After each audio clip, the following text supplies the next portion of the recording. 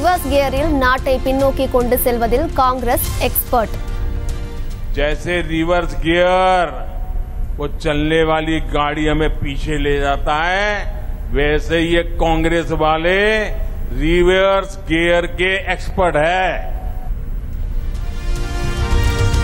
செல்லும் இடமெல்லாம் அழிவை கொண்டு வரும் கட்சி என்றும் பிரதமர் மோடி தேர்தல் பிரச்சாரம் कांग्रेस आई तो मुफ्त राशन मिलना बंद हो जाएगा कांग्रेस आई तो मुफ्त इलाज मिलना बंद हो जाएगा कांग्रेस आई तो किसान सम्मान निधि के पैसे मिलने बंद हो जाएंगे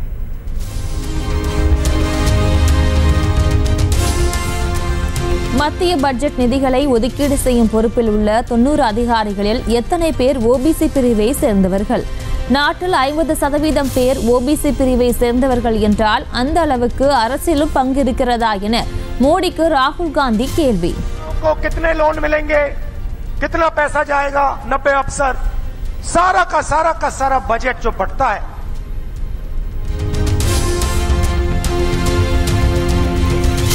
நாட்டில் அமைதியின்மையையும் அராஜகத்தையும் பரப்ப காங்கிரஸ் ரகசிய உடன்படிக்கைகள் செய்து கொண்டிருப்பதாக பிரதமர் மோடி குற்றச்சாட்டு இந்தியாவிற்கு எதிராக பகிரங்கமாக சதி செய்யும் வெளிநாட்டினருடன் கைகோர்ப்பதாகவும் அடுக்கடுக்காக புகார் देश को पीछे ले जाने वाली होती है कांग्रेस के लिए देश नहीं बल्कि उसका अपना स्वार्थ सर्वोपरि रहता है भले इसका खामियाजा देश को क्या न उठाना पड़े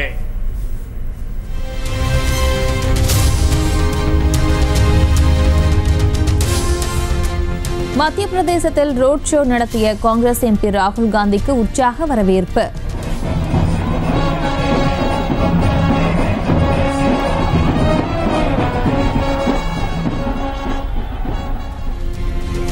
காஷ்மீர் முதல் கன்னியாகுமரி வரை வேலையின்மையும் விலைவாசி உயர்வும் மிகப்பெரிய பிரச்சனையாக இருப்பதாக தேர்தல் பிரச்சாரத்தில் குற்றச்சாட்டு.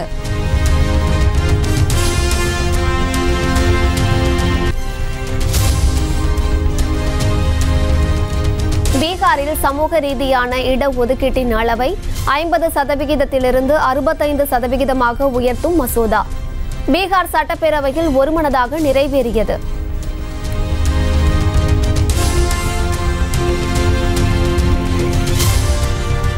பீகாரில் ஓபிசி பிரிவினருக்காக இடஒதுக்கீடு முப்பது சதவீதத்திலிருந்து நாற்பத்தி மூன்று சதவீதமாக உயர்கிறது.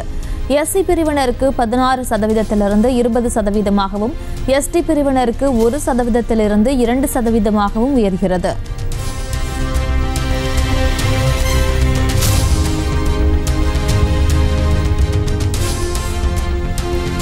சட்டமன்ற உறுப்பினர்கள் சட்டமன்ற உறுப்பினர்கள் மீதான குற்ற வழக்குகளின் விசாரணை விரைந்து நடைபெறுவதை சிறப்பு அமர்வு அமைத்து கண்காணிக்க வேண்டும். அடுத்த ஆண்டு நாடாளுமன்ற தேர்தல் நடைபெறவுள்ள நிலையில் உயர்நீதிமன்றங்களுக்கு உச்சநீதிமன்றம் உத்தரவு.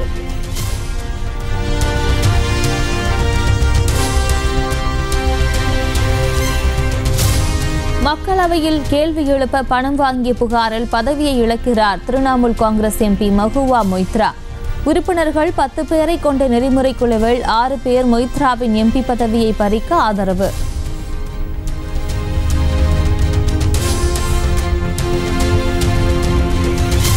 அறநெறிகள் குழுவின் வரைவு அறிக்கை அதானி நடத்தும் தொலைக்காட்சிக்கு கசிந்தது எப்படி என்று திரிணாமுல் எம்பி மஹுவா மொய்த்ரா கேள்வி.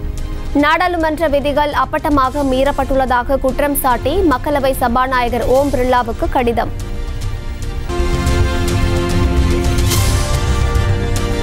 நாடாளுமன்ற குளிர்கால கூட்டத்தொடர் டிசம்பர் நான்காம் தேதி தொடங்கும். டிசம்பர் இருபத்தி இரண்டாம் தேதி வரை நடைபெறும் என்று நாடாளுமன்ற விவகாரத்துறை அமைச்சர் பிரகலாத் ஜோஷி தகவல்.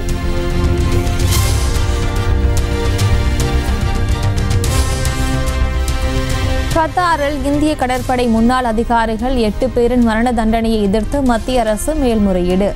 வெளியுறவுத்துறை செய்தி தொடர்பாளர் அரிந்தம் பாக்சி தகவல்.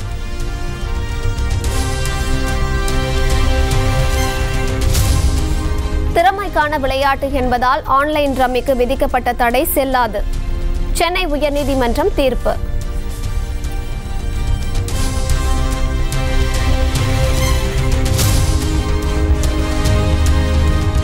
அதிர்ஷ்டத்துக்கான ஆன்லைன் விளையாட்டுகளை தடை செய்து இயற்றப்பட்ட சட்டம் செல்லும் என உயர்நீதிமன்றம் தீர்ப்பு. ஆன்லைன் சூதாட்டத்தை தடை செய்து நிறைவேற்றப்பட்ட சட்டத்தை முழுமையாக ரத்து செய்ய வேண்டும் என்ற கோரிக்கை நிராகரிப்பு.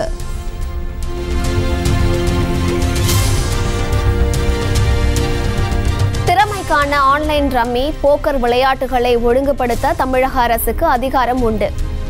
விளையாடுவதற்கான வயது நேரம் உள்ளிட்டவை தொடர்பாக அரசு விதிகளை உருவாக்கிக் கொள்ளலாம் என்று தீர்ப்பு.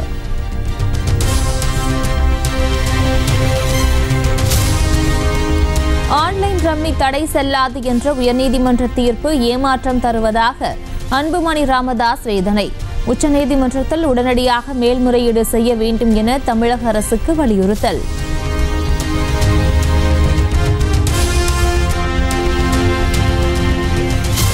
சொத்து குவிப்பு வழக்கில் தங்கம் தென்னரசு உள்ளிட்டோரை விடுவித்த ஸ்ரீவில்லிபுத்தூர் நீதிமன்ற உத்தரவை மறு ஆய்வு செய்யும் உயர்நீதிமன்றம்.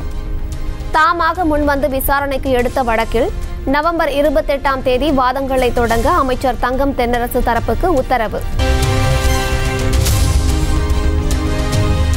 சென்னை மாநகர் முழுவதும் பரவலாக வெளுத்து வாங்கிய கனமழை.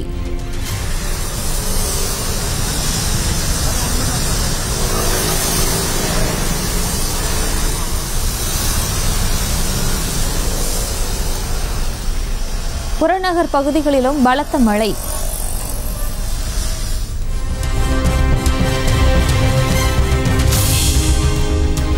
கனமழையால் ஏற்பட்ட வெள்ளப்பெருக்கு காரணமாக கோவை குற்றாலம் அருவி மூடல். மறு அறிவிப்பு வரும் வரை மூடப்படுவதாக வனத்துறையினர் அறிவிப்பு.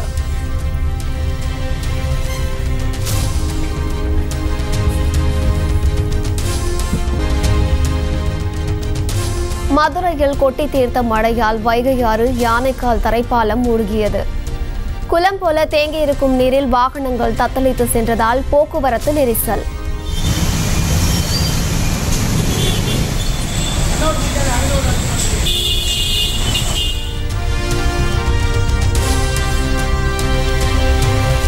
தேனி வைகை அணையிலிருந்து வெள்ளிக்கிழமை முதல் நீர் திறக்க உத்தரவு.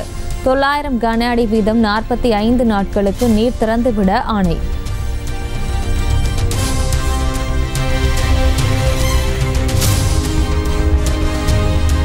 மேட்டூர் அணைக்கு நீர்வரத்து வினாடிக்கு பத்தாயிரத்து ஐநூற்று பதினான்கு கனடியிலிருந்து பதினான்காயிரத்து தொள்ளாயிரத்து எழுபத்தோரு கனடியாக அதிகரிப்பு. அணையின் நீர்மட்டம் கணிசமாக உயர்ந்து வருவதால் விவசாயிகள் மகிழ்ச்சி.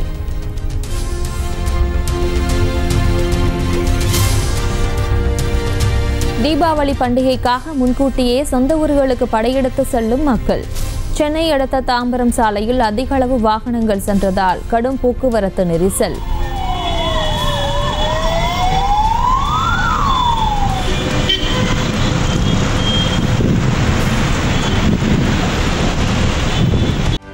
செய்திகளை உடனுக்குடனும் துல்லியமாகவும் தெரிந்து கொள்ள சப்ஸ்கிரைப் பண்ணுங்க.